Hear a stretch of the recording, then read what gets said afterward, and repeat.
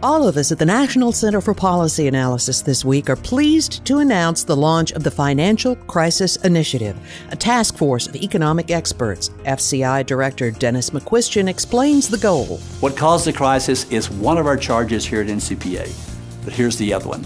What policies should be adopted to prevent or mitigate the next crisis? The FCI announcement was made at a speaker event featuring New York Times best-selling author James Rickards, who drew parallels between the crash of 08 and today's trends. 2008, what did you hear about?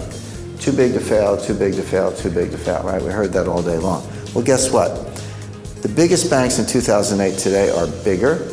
They have a larger percentage of all the banking assets. The derivatives books are bigger. Everything that was too big to fail in 2008 is bigger today. And if you take what I just said about um, the function of risk, if it's that much bigger, the risk is exponentially greater than we had in 2008. As part of a two year series of financial crisis initiative publications, the NCPA published The Accounting War.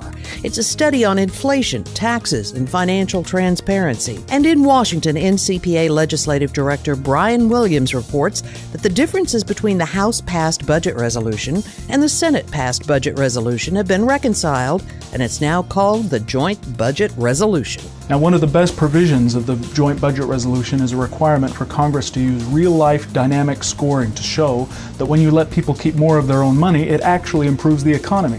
Now, I'll admit, dynamic tax scoring isn't the most exciting thing in the world. I wouldn't blame you if you dozed off right there. But NCPA has been advocating the use of dynamic tax scoring for a long time as a way to lower taxes and improve the economy, so we're pretty excited about it.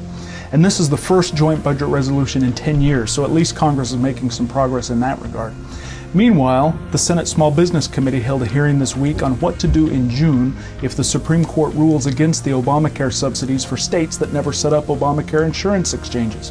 If the Supreme Court rules that the subsidies are illegal, which they probably are, as many as 5 or 6 million people will suddenly lose their health insurance subsidies. Congress is examining different ideas that would help with the sudden financial burden, and it could be a way to transition away from Obamacare altogether.